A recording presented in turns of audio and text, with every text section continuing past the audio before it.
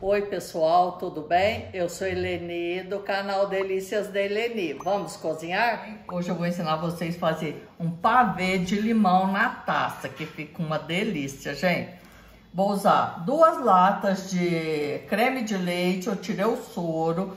Aqui eu tenho seis limões que eu espremi mais ou menos uma xícara de chá de limão e uma latte leite condensado. Dois pacotinhos de bolacha de maisena e uma xícara de chá de leite para molhar as bolachas.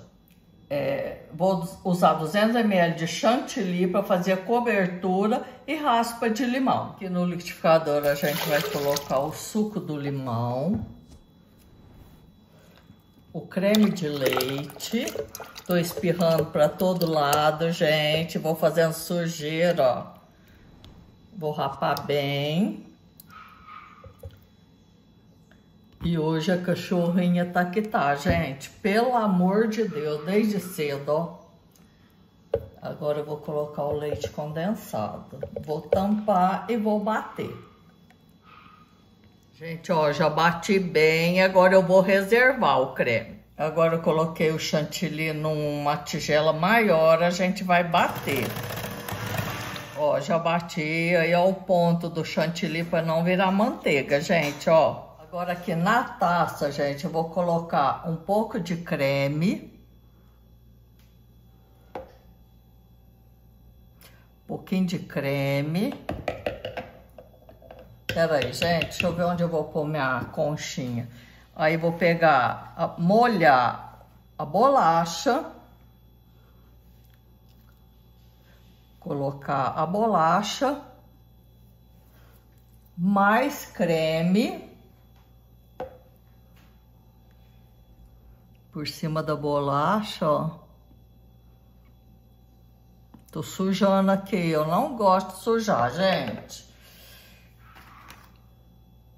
Molhar a bolacha. Aí vai ficar meia alta, eu vou cortar pontinho, porque a gente vai montar na taça, ó.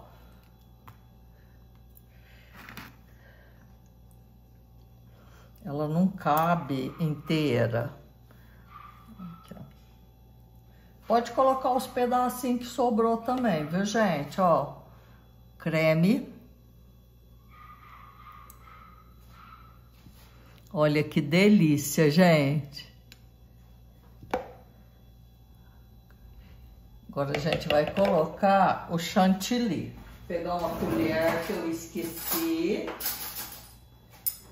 Eu vou colocar o chantilly por cima.